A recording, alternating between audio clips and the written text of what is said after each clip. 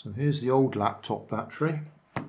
There's lots of videos on YouTube on replacing the individual cells inside here. It's certainly not coming apart easily. The videos I've watched, they appear to magically come apart quite easily. I expect if we get these labels off, we might be able to work along this seam.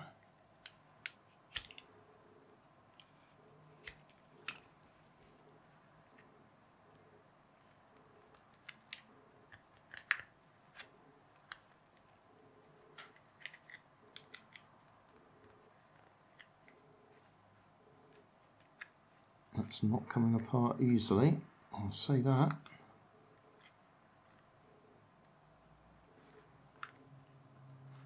Be fairly careful because I think along there is the battery uh, balance circuit, the charger or protection circuit, so you don't want to dig right in and damage that. And you don't want to dig straight in and actually puncture the cells either. That wouldn't be very clever one of those things that I expect if you've done it a few times, you know the tricks. So that's the only bit that's come loose so far, is the back edge. I'll work on this little bit off screen and then we'll come back again. Well, a fair amount of time has passed. I've had to keep working my way around the seam with a sharp knife carefully trying not to dig in too far. In fact, I can see I've actually scored the outside of the plastic there. But we have got it coming apart now.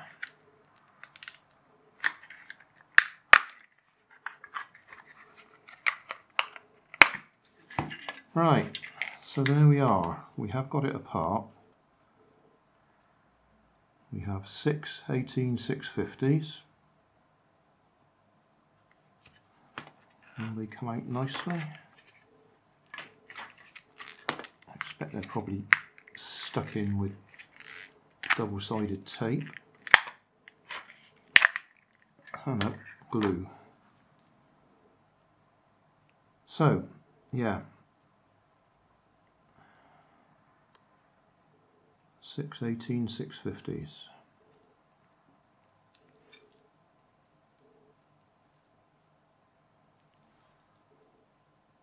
As far as I know,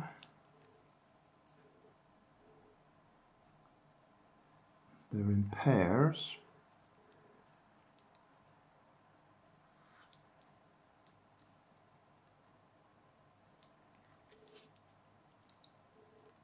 Sticky tape round there to hold them in place.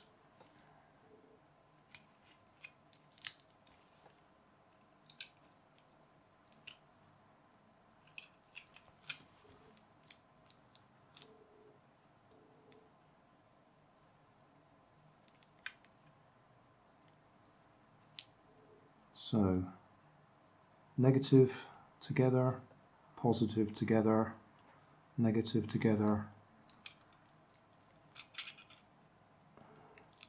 positive together, but they've done them the opposite way just to make it awkward.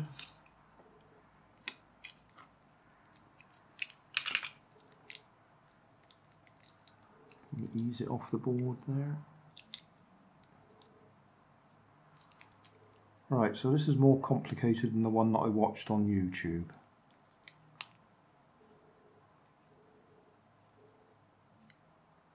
I've got a yellow wire coming up from there which would be an intermediate connection. That and that I think are thermal sensors or yeah, heat sensors I reckon. That black wire goes to the midpoint there, so we've got midpoint there, midpoint there.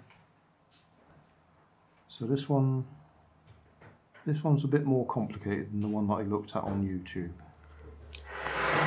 But we should still be able to do the basic measurement, which is measure them, measure them, and measure them. 4 volts.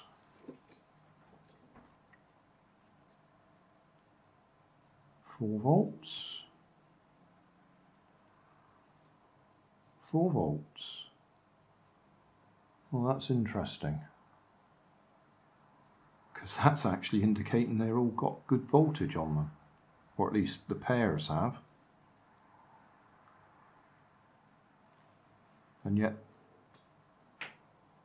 this wasn't charging at all.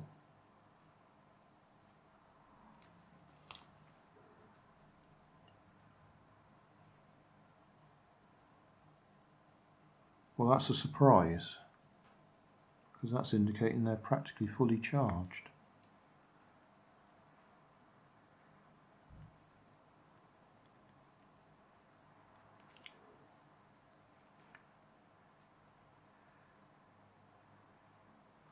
Very odd. I'm not going to go any further on this. Because I don't have any spare 18650s anyway. I'd have to buy them. And to buy, well, six of them will cost as much as I've just paid, or let cost more than I would have paid for that replacement battery. So I'll put this back together for now. I'm surprised. I wasn't expecting that. I was expecting at least one pair to be well down.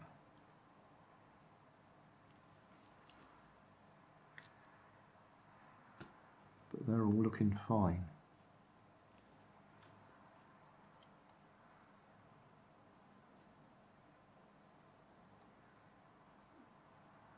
Very strange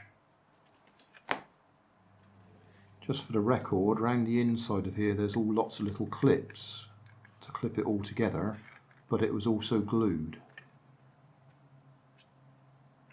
so clipped and glued so it didn't want to come apart Hey, thanks for watching. There's plenty of videos on my main channel with more added daily, so don't forget to subscribe and enable the notifications to keep you up to date with my new releases.